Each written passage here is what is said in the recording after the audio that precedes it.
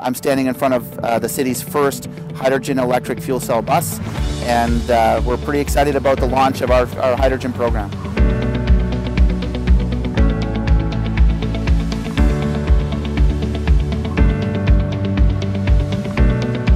Have compressed hydrogen that goes into that fuel cell, creates electricity, and uses that to push the, the, the vehicle forward. Hydrogen is, is produced from H2O, uh, and we're taking that H2 out of the water uh, as we separate the molecules, and that's how you create hydrogen. So it comes right from water. So the wrap itself represents that. It starts with a blue molecule on the front, and it kind of looks as it goes to more to the back of the bus it turns into a gas which kind of floats out and you see the molecules separating and then the back of the bus is the separated molecules in a green uh, sustainable fuel. The climate impact and being able to reduce our carbon emissions is a big part of why we're doing this. So climate first, but the benefits that come along with that are transferring people to a more sustainable way of travel, giving them an ability to pick a choice or mode choice that is more sustainable is an option for folks but also it's so quiet. You know, And when you get on these vehicles, very similar. A lot of people think this hydrogen bus has an engine in it. There is no engine in it. It's wheel hub motor. It's, it's all electric.